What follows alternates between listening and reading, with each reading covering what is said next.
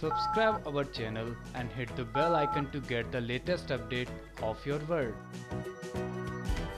Serial इश्क पर ज़ोर नहीं कि एक बार फिर से नई अपडेट लेकर हाजिर हैं हम, जिसमें हम आपको बताने वाले हैं कि अपकमिंग ट्रैक होने वाला है। काफ़ी इंटरेस्टिंग क्योंकि अपकमिंग ट्रैक में आप देखिएगा कि हान को ये पता चल जाने वाला है कि रेहा किसी और के बच्चे की माँ बनने वाली है। और ऐसे में हान ये सच पूरे परिवार के सामने लाकर रख देने वाला है। जी हाँ वो पूरे परिवार को ये सच बता देगा कि कैसे रेहा के पेट में किसी और का बच्चा पल रहा है और ऐसे में पूरे परिवार के सामने रेहा शर्मिंदा तो हो गई, साथ ही कुछ बोल नहीं पाएगी देखना दिलचस्प होने वाला है कि ये सच्चाई पूरे परिवार के सामने जब आती है तो क्या बवाल होता है